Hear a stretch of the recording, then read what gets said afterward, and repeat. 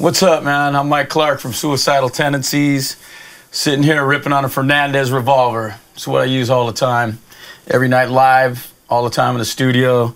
Thing is uh, more versatile than than uh, than anything. Basically, I mean, uh, it's great for digging into. Just like.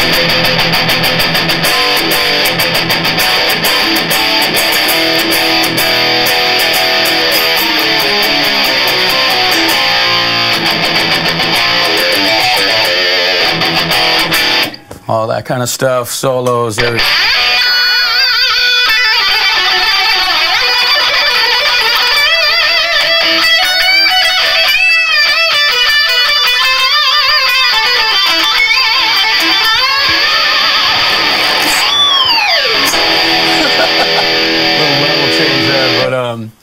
Yeah, I've been playing Fernandes G's probably about uh, close to 13 years, I think. Um, and before that, I used to play a lot of different guitars. But uh, as soon as I got with Fernandes, I stuck with him because basically through, throughout the years, I played a lot of different styles of guitars and stuff. But um, it, they always have something for me. If I'm looking for something different, um, I can just come down to the to the factory and uh, I'll find something that I like. You know, which is which is really rare as a guitar player. Like when you're trying to switch up and stuff, you know, you're you're always going to get like a a Strat or a Les Paul kind of style guitar.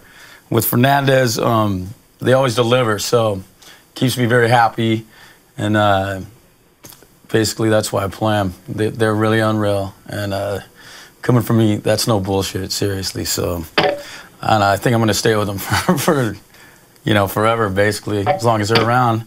And even if they're not, I'm gonna still have mine. I'll be playing them definitely. So.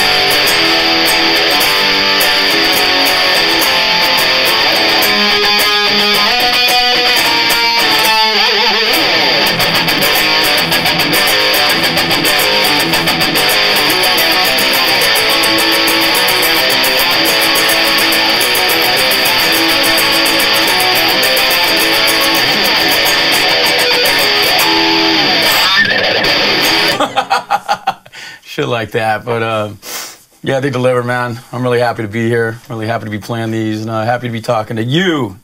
So uh, if you get a chance, man, check out Suicidal. You're gonna see Fernandes is out there. They're gonna be wailing. It's gonna sound great. And uh, Mike Clark, once again, thanks for uh, checking it out.